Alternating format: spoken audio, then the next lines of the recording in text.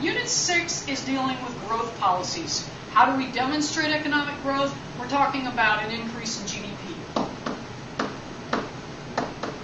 Now, there are lots of ways you can demonstrate this graphically. You can show on an ADAS model that you're sliding out along the horizontal axis. You can show it on a PPF. Let's say, for example, we're talking about a production possibilities frontier. Normally we'll see two very different products, maybe something agricultural and something industrial.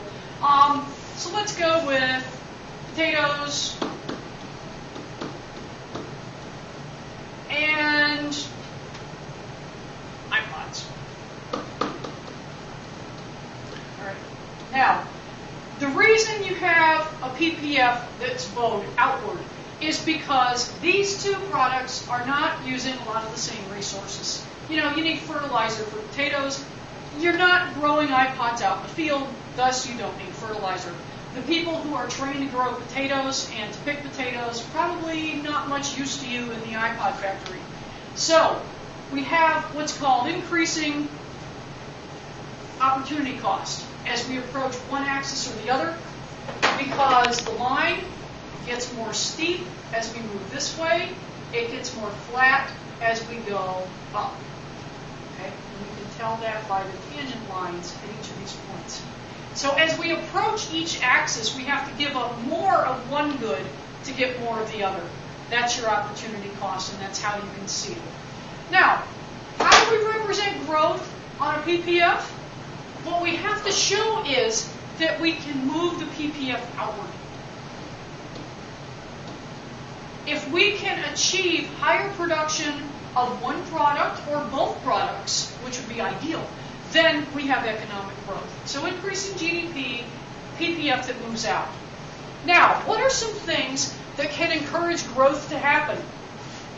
You can invest, first of all, in human capital.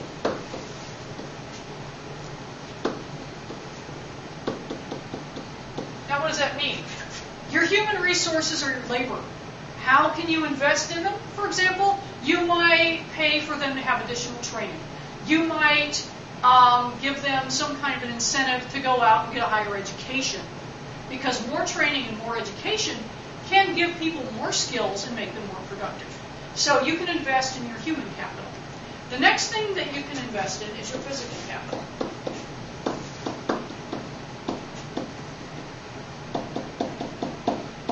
Here we're talking about plant equipment. If you get, um, you know, a better facility where it's easier for people to move around, where it takes less time, for example, to um, get resources from one end of a production line to another. Maybe you're investing in um, a setup that's more ergonomic.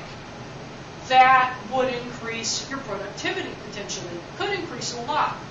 The third thing that you can do and all these things really are related, is put money in technology. Here we're talking about investments in research and development, which can also give you better physical capital and help you utilize your people a little bit better.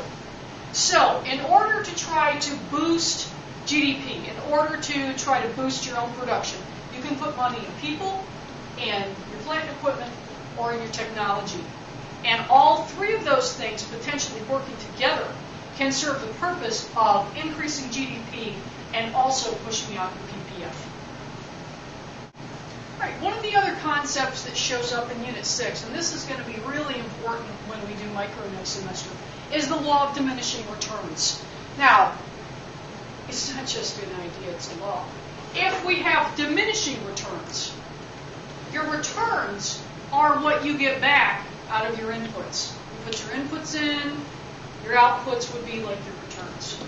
You put your inputs in, you put your outputs out, you put your inputs in, and you. Sorry. And you get production. All right.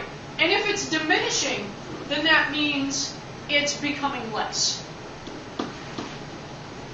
So what that means is that as you keep continuously increasing one input, then you're going to have less of an increase in your output until it's going to level off and finally go negative, which is not good. The example that I always use for this is a car wash. Now, if we're talking about a car wash that's very labor intensive, um, then you have to have people available who are physically washing the cars.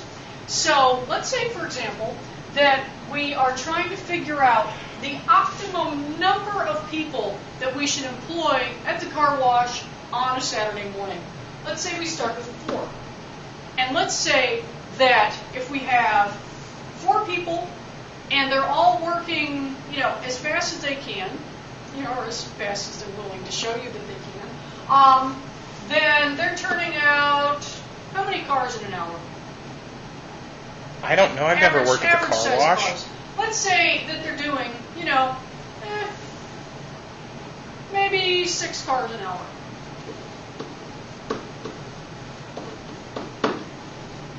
And then you go, well, hey, if we have that many guys, you know, doing this by hand or doing the detailing and stuff, and they can do six cars in an hour, then what happens if we have eight people?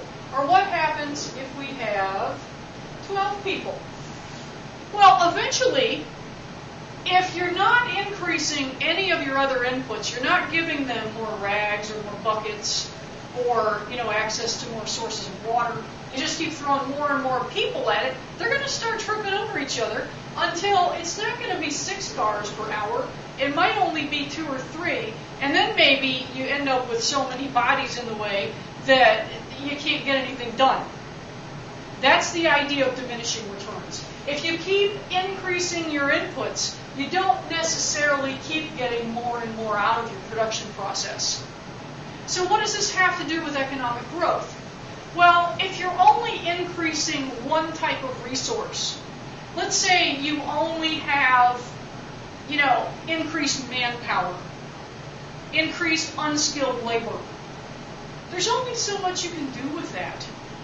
If you don't invest in that human capital and you don't give them more machines and you don't give them other stuff to work with, then you're not necessarily going to get the payoff in terms of economic growth. And if you think about it in terms of labor that you see, you know, at any given store, at any given time, you know, go to a bookstore on a weekday morning and look at how many people are standing around doing nothing. Does it help to throw more people at the problem if you already have people who are not being productive?